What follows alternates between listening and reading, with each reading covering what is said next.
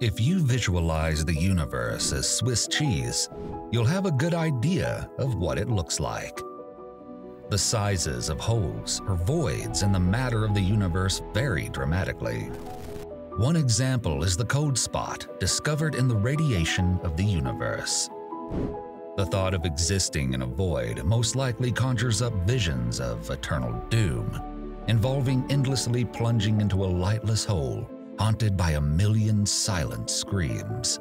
It's all in your head, but we do live in a void. There are cosmic voids everywhere, and the Milky Way is floating in one of them. The observable matter that constitutes up to 5% of the universe appears as filaments or clusters and superclusters of galaxies, and voids, which are empty spaces with few galaxies and celestial objects. Our galaxy resembles one of the lone cars rusting away on that vast asphalt plain. For now, let's ignore the dark matter and the dark energy which is said to make up the other 95% of the universe. A study conducted in 2017 backs up the idea that our home galaxy is incredibly far out in the universe. The concept of living in the celestial boondocks was first proposed in 2013 when astronomer Amy Barger of the University of Wisconsin-Madison and her then student Ryan Keenan discovered that the density of the nearby universe is lower than that of other parts of the universe.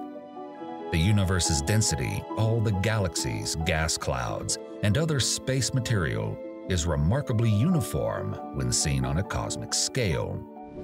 However, if you zoom in on smaller and smaller portions of space, you'll notice that it's more well organized, like Swiss cheese, with matter pulled into dense filaments containing massive clusters of galaxies. Between these filaments, large voids exist, which are not completely empty, but are significantly less densely packed. The huge cheese hole in which we live in is called the KBC void, named after Keenan, Barger, and astronomer Lennox Cowie. It is the largest cosmic void yet observed, about seven times larger than the average void, with nearly 1 billion light-years radius.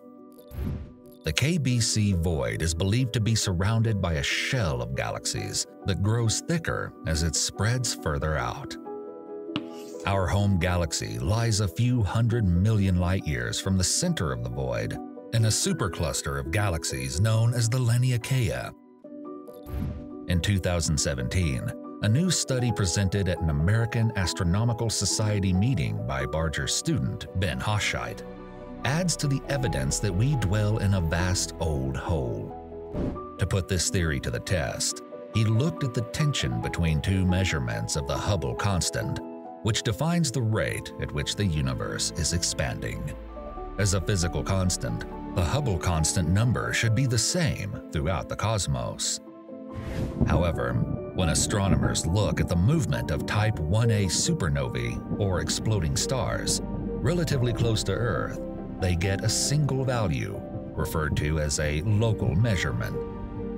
But when they use the cosmic microwave background, CMB radiation, a remnant of the Big Bang that pervades the cosmos, they get a different value, known as the cosmic measurement. According to the study, Living in a massive void eliminates the disparity between local and cosmic measurements. Hochschild concluded that using the constant is higher when using the supernova method. This is in line with our expectations about how a void would affect the Hubble constant. Due to gravity from higher density areas, things are being pulled out of the void at a higher rate than we would expect. One possible explanation for the difference in the Hubble constant measurements is due to the difference in time. Hubble's observations rely on cosmic objects that are closer in terms of time, whereas the CMB was released when the universe was still young. Simply put, being in a void with far less matter has an impact on the measurements made by supernovae explosions. The CMB method, on the other hand, does not alter the measurement in any way. These measurements are the only method for astronomers to affirm the existence of the universe, and characterize its structure without taking some sort of cosmic selfie. And, according to Hochschild, his team is still refining previous observations and taking new measurements. So far, the astrophysics community has not aggressively contested the idea of the KCB void, because maybe they have accepted it, which is honestly surprising. If you like this video, please consider subscribing and click the notification bell so you do not miss any upcoming videos.